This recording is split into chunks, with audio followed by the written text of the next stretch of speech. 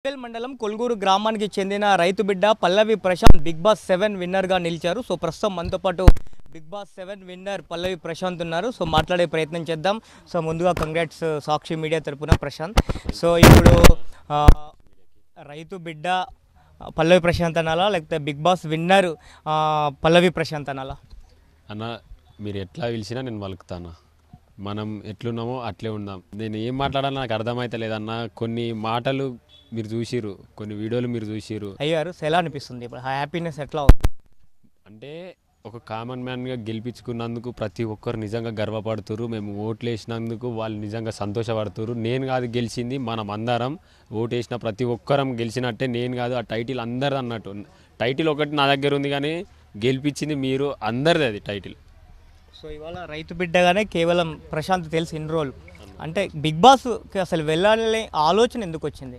రైతు బిడ్డగా ఉన్నప్పుడు సో రైతులకు ఏముంటుందంటే సరిగ్గా గిట్టుబాటు ధరకపోతే ఇంకో పంట వేసుకుందామని ఒక ఆలోచన ఉంటుంది. లేదంటే సరిగ్గా ద గిట్టుబాటు ధర లేకపోతే ప్రైవేట్ జాబ్ చేసుకోవాలని ఆలోచన వస్తుంది. కానీ ప్రశాంత్ డిఫరెంట్గా అసలు బిగ్ బాస్కి వెళ్ళాలని ఎందుకు ఆలోచించాడు అన్న మీకు గతంలో ఇట్లా నా వీడియోల ద్వారా మీకు తెలిసింది. అది అందరికీ చెప్పినా అది అందరికీ తెలుసు. ఎందుకంటే నేను ఎందుకు పోయినా ఒక లక్ష్యంతో పోయినా ఏ రంగంలోనైనా రైతు ఉంటాడు గెలుస్తాడు గెలిచి తీరుతాడు. ఒక్క నా- నేను గెలిచి నేను గెలిచింది పక్కకు పెట్టేస్తే నేను పోతే ఎంతమందికి ఆదర్శం అవుతాం? మన రైతులను మనమే కాపాడుకోవాలి. ఎవరు వచ్చి ఏం చేయరు? ఒక్కరు గర్వంగా. అంతెందుకన్నా మా ఇంటికి అంటే మా బాబునికి మీ కొడుకు ఏం చేస్తాడంటే బయకడ పని చేస్తాడంటే కొందరు వేరే మాటలు అట్లా ఇట్లా అన్నారు.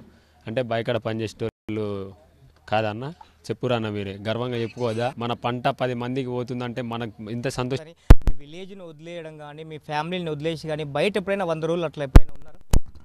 ఆహా, లేనన్న. కానీ నేను ఒక లక్ష్యంతో పోయినా ఆ లక్ష్యంకి మా బాబు చెప్పిన మా బాబు ధైర్యం ఇచ్చిండు. ఒక అడుగుతోని మొదలై లక్షల అడుగులు కలిపి ముంగటికి నడిపించిందన్న. అదే మీ ప్రేమ. పొలానికి పోయి వచ్చి ఇంటికి వచ్చే వారికి నేను మేము మనం గెలిచినామని మనం సంతోషంలో ఉన్- ఉన్నాము. కానీ పరారైరంటే నేనేం దొంగతనం చేసిందా? నేను ఎట్లా ఉంటానో తెలుసు మీకు తెలుసు అందుకే గెలిపించుకున్నారు. దొంగతనం చేసినట్టు నేను పరారై నేనేం దొంగతనం చేసినా మీరు చెప్పురన్న చెప్పు బయట ఎట్లున్నా అంటే లోపల బాధనే బయట బాధనే నాన్న. గెలిచిన సంతోషం ఇట్లా లేదన్న? ఫ్రెండ్స్ గుర్తు రావడం కానీ జరిగిందా? ఇది జరిగే జరుగుతాయి అన్న. జరిగిన గిట్ల మనం ఒక లక్ష్యం ఉన్నది. ఆ లక్ష్యానికి ఇవన్నీ కోసం ఎప్పుడు ఆడలేదన్న. ఇక్కడ ఉంటాడు అన్న. శివాజీ అన్న. శివాజీ అన్న. అంటే శివాజీ అన్న. మంచిగా వాడు వచ్చి ఒక అగ్గిచ్చిన దిల్సే మంచిగా మాట్లాడిండు. నాకు ప్రతిసారి బాధ అనిపించినప్పుడల్లా నాకు ఒక్క ధైర్యం ఇచ్చిండు నాకు ఒక్క నమ్మకం ఇచ్చిండు. అంతేందుకన్నా ఇప్పుడు నువ్వు నేను ఆట ఆడుతున్నాం. ఇడున్నోళ్ళు ప్రతి ఒక్కరు ఎవరు ఆట కోసం ఆలోచనం. ఎవరు గెలు నువ్వు నువ్వే గెలవాలనుకుంటావు. ప్రతి ఒక్కరు ఎవరు వాళ్ళు గెలవాలనుకుంటారు. కానీ లెటర్ ఇచ్చి నువ్వు గెలవాలి కామన్ మ్యాన్ నువ్వు గెలవాలి ఎంతోమందికి ఆదర్శం కావాలి. అని అన్న నా కోసం ప్రతి ఒక్క ఆట గెలవనీకే. ఆ మూడు టాస్కులు ఉన్నాయి కదా. ఆ మూడు టాస్కులల్లా ఎక్కడ నేను ఓడిపోతే వానికి చా- చూపెట్టాలి అని నాకు ఆ అవకాశం ఇచ్చిండు ఆ రోజు. నేను గెలుస్తా అని చెప్పి క్యాప్టెన్ ఇట్లా అయినా. ఇక ఆ శివాజీ అన్న గురించి చెప్పాలంటే మాటల్లో స్పై. స్పై. జై జవాన్. ఎప్పుడైనా అనుకున్నారా? శివాజీని కలుస్తాను. అంత క్లోజ్ రిలేషన్షిప్ ఉంటుంది. నేను అన్నను టీవీలో చూసిన హీరోగానే తెలుసు. అన్న వస్తున్నాను తెలియదు. హీరోగానే తెలుసు. అంత పెద్ద హీరో నా దగ్గరికి వచ్చి చేసి అగ్గిచ్చినప్పుడు నా లోపల తీన్మార్ డాన్స్ ఆడింది. నిజంగా చెప్తున్నాను నేను ఇట్లా అన్న. అన్న పెద్ద హీరో అన్న. అన్న అట్లా ఏం లేడు దిల్సే ఉన్నాడు. అన్న ఎంత మంచోడు అంటే అన్న గురించి మీరు చూసిరు నేను కాదు. ప్రత్యేకంగా నా నాకు ఇచ్చిన నమ్మకం ఏంటంటే ఇట్లా. బిడ్డా చిన్న కొడుకు కప్పు మీరు గెలిచిన తర్వాత కొంచెం అక్కడ బయట కొంచెం సిచ్యువేషన్ కొంచెం బయట ఏమవుతుందో నాకు తెలియదు నిజంగా చెప్తున్నా నాకు అసలు తెలియనే తెలియదు బయట సిచ్యువేషన్ ఏంది? మన దగ్గర ఫోన్లు ఉండయి. మనం మంచిగా మనం ఏం చేస్తున్నామో అది ఆనే ఉంటుంది. బయట గిట్ల అవుతుంది గట్ల అవుతుంది అని ఏం తెలియదు నేను అంతసేపు నన్ను విన్ అయిన తర్వాత ఇట్లా కొద్దిసేపు తర్వాత ఏమేమి అవుతుందో నాకు ఏం తెలియదు ఏమి ఇచ్చేటోళ్ళు ఇట్లా ఉన్నారు కదా? మరి వాళ్ళే ఎవరు చేసిరన్న తప్పు కాదా అన్న?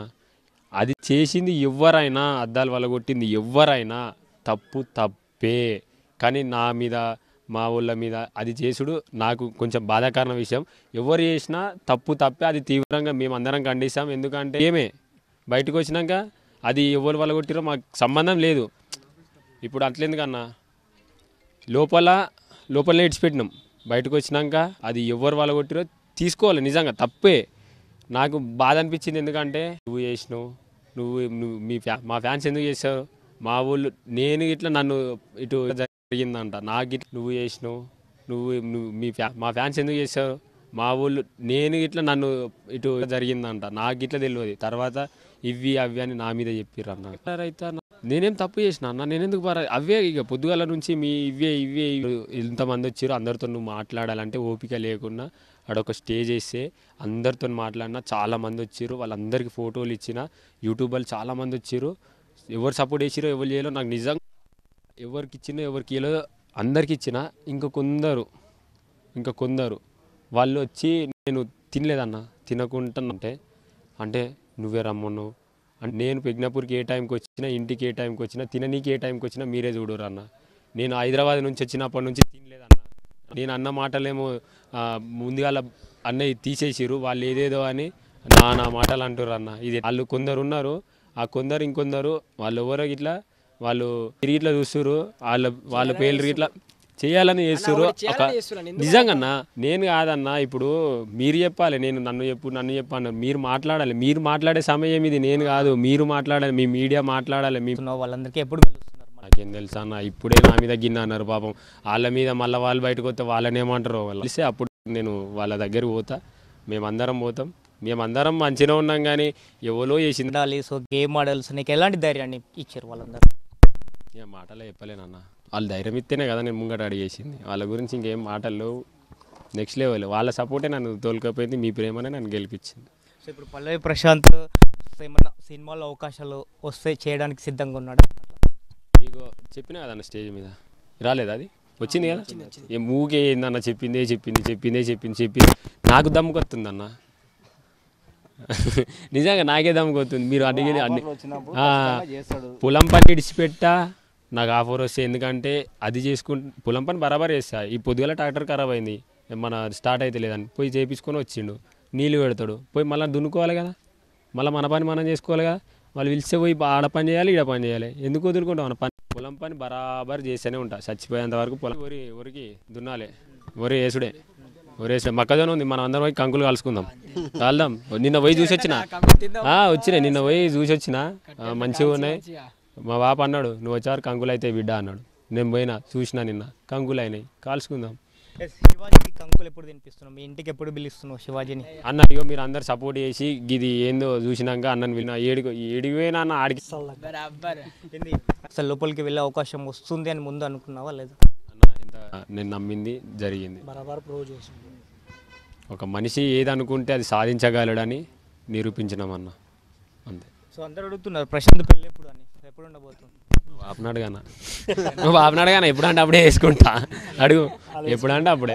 అసలు చాలా మంది పల్లవి ప్రశాంత్ అసలు ప్రశాంత్ ఏంది? ముందు పల్లవి ఏంది? పల్లవి ఉన్న వాళ్ళ గర్ల్ ఫ్రెండ్ పేరా? ఏంది అని కన్ఫ్యూజ్ ఉంది. అది ఒక- అదొకసారి మళ్ళీ సరే ఏంటంటే నేను చెప్తా. బరాబర్ చెప్తా. బరాబర్ చెప్తా. నేను పుట్టక ముందు మా బాపు ఆ, మొక్కుకున్నంట. ఆ, పల్లెవుల రాజు పరిపాలించిండంట. నేను నా కొడుకు ఉడితే నీ పేరే పెట్టుకుంటా అని నేను మొక్కిన కొన్ని కొన్ని ఇట్లా తర్వాత నేను పుట్టినంట అప్పుడు పల్లవి రాజని పెట్టిండు. అందరు రాజని పిలుస్తారని పల్లవి ప్రశాంత్ మా కొడుకును పల్లవి ప్రశాంత్ అని పిలవాలని ప్రశాంత్ ఇక నే- మేడం నేను నా పేరు అత్తనే ఎంతో కొంత చదువుతాను ఇట్లే సరే ఇక అప్పటి నుంచి ఆధార్ కార్డులో కానీ ఇళ్ళ కానీ పల్లవి ప్రశాంత్. ఇంకా ఏమనుకున్నావు అన్న పల్లవి ప్రశాంత్ అంటే? ఇంకేమన్నా అనుకున్నావా? పల్లవి ఆ పల్లవి ప్రశాంత్ ముందు బిగ్ బాస్ విజేత పల్లవి ప్రశాంత్ అని చేరిపోయింది. అన్న. నిజంగా మస్తు సంతోషంగా ఉందన్న. బీబీ అంటే భూమి బిడ్డ పల్లవి ప్రశాంత్. హీరోలను వాళ్ళని వీళ్ళని చూసినోని నేను. డైరెక్ట్ వాళ్ళతో మాట్లాడుతుంటే ఎంత ఖుషి ఉంటుందన్న లోపల తిన్మార్ డ్యాన్స్ చేసుకోవచ్చు అన్నతో అరే నువ్వేరా మాట్లాడింది? ఎందుగా అంటే అన్నా నేను అందరినీ టీవీలో చూసిన. అరే అప్పుడు పల్లె ప్రశాంత్ వేరు ఇప్పుడు పల్లె ప్రశాంత్ వేరు. మంచిగా ఇట్లా చెప్పాను. నాకు మస్తు అనిపించింది కిరణ్ సార్ బు- బీబీ అని పెట్టి భూమి బిడ్డ పల్లె ప్రశాంత్ అని పెట్టి మస్తు అనిపించింది నాకు. సో మీ మదరు ఫాదరు సో మొదటిసారిగా స్టూడియోకి వచ్చినప్పుడు వాళ్ళకి ఏమనిపించింది మిమ్మల్ని నిన్ను అట్లా చూసినప్పుడు?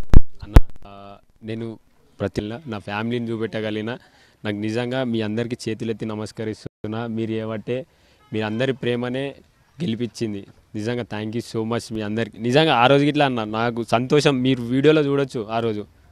నాకు మామూలు సంతోషం కాదు ఆ రోజు. మాటలు రావన్న అయ్యా ఆ క్షణాన్ని గుర్తు చచ్చిపోయేదాకా గుర్తుంటాయి అన్న అవన్నీ? బిగ్ బాస్ అనేది ఒక జీవితం పుస్తకం అన్న. ఎందుకంటే మొత్తం మనకు ఏ టు జెడ్ మొత్తం నేర్పిస్తుంది. నిజంగా నాగార్జున సార్కి ఎప్పుడు రుణపడి ఉంటా? బిగ్ బాస్కి అయితే మర్చిపోను. ఇది ఎందుకంటే మస్తు లైఫ్ ఉంటుంది అన్న. అంటే ఎట్లా అంటే నీకు స్కూల్లో ఎట్లుంటుంది? బయట ఎట్లుంటుంది? మొత్తం జర చూసుకోర్రి అన్న ప్లీజ్ అన్న. మన కామన్ మ్యాన్కి ఇవన్నీ ఇవి మనకు అవసరం అన్న. ఇవి ఏదో మనం పొలం కాడ పని చేసుకున్నామా? వాళ్ళని వెళ్తే పోయి వచ్చినామా? అన్నట్టు ఉంటుంది. అర్థం చేసుకోరా అన్న? నాకు బాధ అయితే అసలు ఇప్పుడే ఇగో అన్న వాళ్ళు వచ్చి తినిపో తినిపో అంటే అప్పుడు పోయి తిన్నాను లేకపోతే ఇవి తిన్నా కాబట్టి మీతో మేము హైదరాబాద్- మాట్లాడదాం మేము కూడా హైదరాబాద్ వచ్చినాం అన్న కోసం. జై జవాన్! మొత్తానికి పల్లవి ప్రశాంత్ విజయము ప్రతి ఒక్కరి విజయము రైతు బిడ్డల విజయం అని చెప్పి ఆ, చెప్తా ఉన్నారు. వీడియో జర్నలిస్ట్ నవీన్తో కరెస్పాండెంట్ దిలీప్ సాక్ న్యూస్ గజ్వెల్ నుండి.